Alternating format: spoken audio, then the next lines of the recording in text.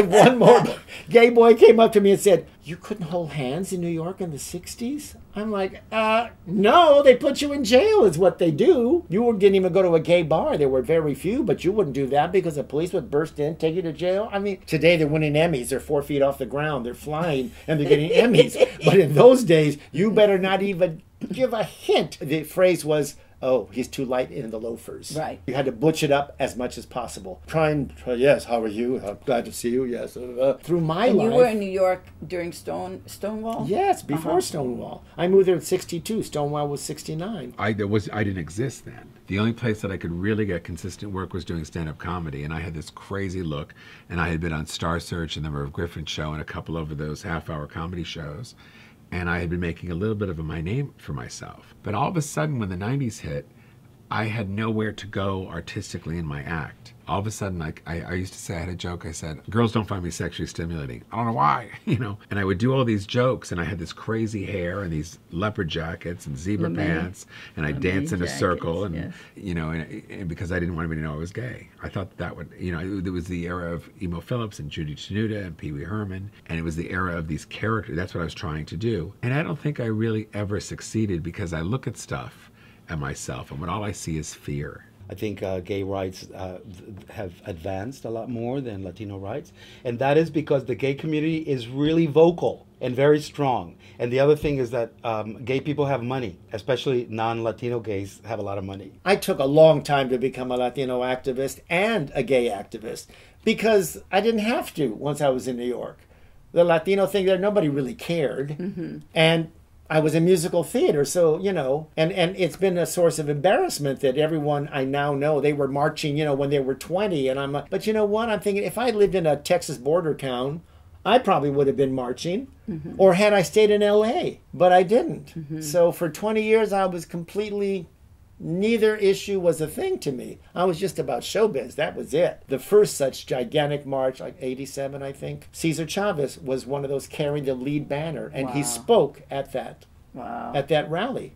Most people don't even We don't know talk that. about that. No. I think I was like, I, I wouldn't say suicidal, but just like, man, I, was, I, I thought about going to New York and pretending I was somebody else. Because in those days, there was no connection between coasts. I just thought, I can't be this person.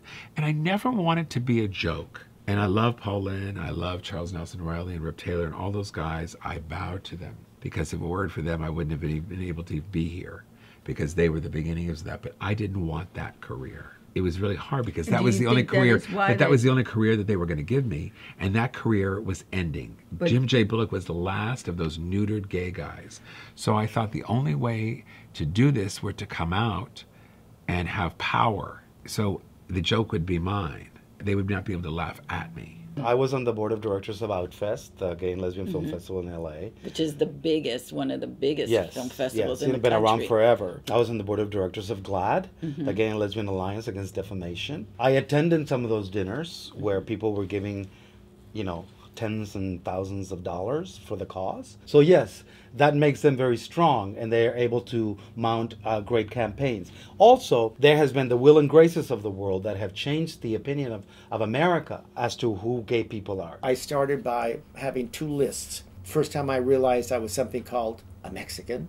First time I realized I was gay. First time I felt, you know, marginalized as a Mexican. And it's again, they all had stories attached to them. And then I started to mix the stories up. And that's how Gaytino was born.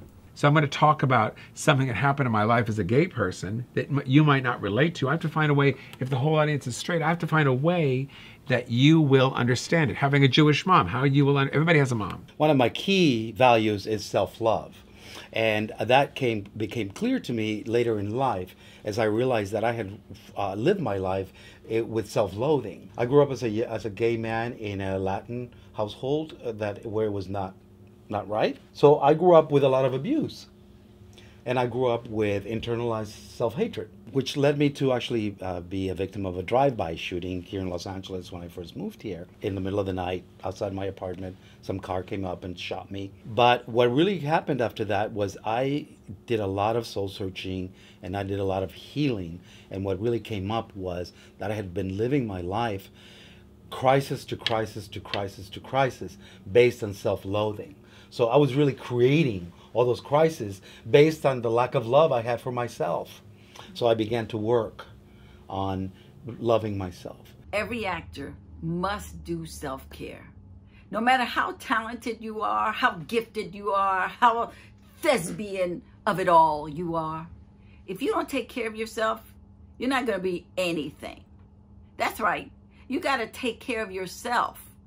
That means being well balanced. That means eating well, making sure you're hydrated. So, put your name, your email address, hit the button, and I'll send you my little checklist on how to do self care for actors. Go ahead. What you waiting for? You came out in 80 when the AIDS epidemic was starting to uh, uh, ravage Right. the community. Literally. Because like by 85, Oh yeah. 85, I, it I, I lost my first friend to AIDS in about '83 or four, and Carlos died in '89. Yeah, so the, those '80s were, you can't even imagine them unless you lived through them. Yeah. you know, a young lost gay a lot of Oh, men during that. A lot of men in our circle. Sure. You, You couldn't know? keep track. I remember I'd be talking to my friend in New York, and they say, you know, Terry died. I'm like, oh my God. No, wait a minute. Didn't he die three weeks ago? No, that was Bill. Oh, Bill, that's a. You couldn't keep track.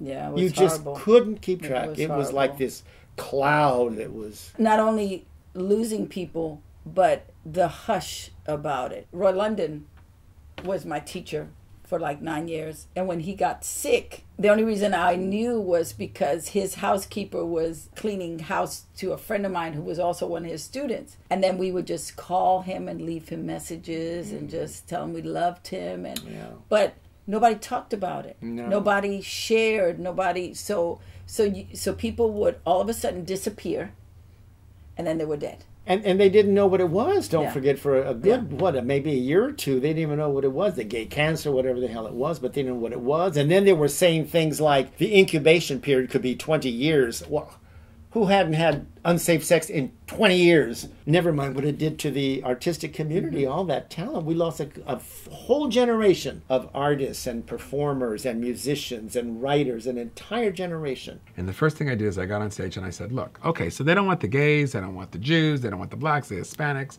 the Asians. They don't want us here. Got it.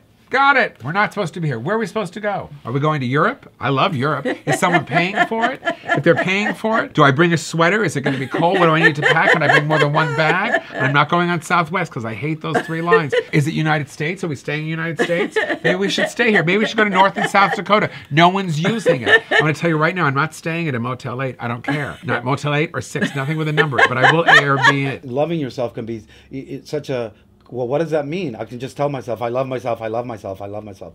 It's a lot deeper than that because it's not here it's here. It's when you feel it in your heart. And then when you go inside and you as a self if you have self-loathing you go inside and you take a look at what's in there it's scary. And so i started to you know really work on self-love. Self-love is really the key to living a good life. And everything that happens in your life happens as a result of you loving or not loving yourself. That's really the key to the experience in your life. So you must love yourself in order to create some good experiences for yourself.